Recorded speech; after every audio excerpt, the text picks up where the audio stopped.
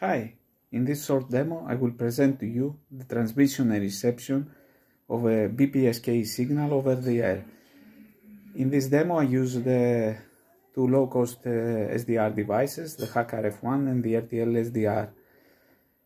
Um, I use the preamble of 16-bit uh, uh, so that to identify the first bit of the first byte of uh, the text file uh, that I transferred through this link.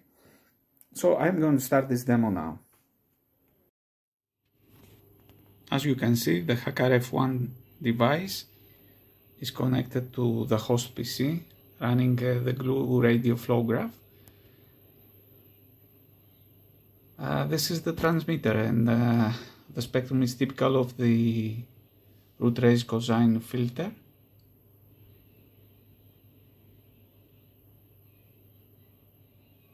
And at a close distance to HackRF there is uh, the RTL SDR device connected to the other host again running uh, the receiver uh, flow graph. You can see the constellation diagram typical of BPSK uh, reception and above is uh, BPSK pulses. All the parameters used in this demo are in the video description below. So have a look at them.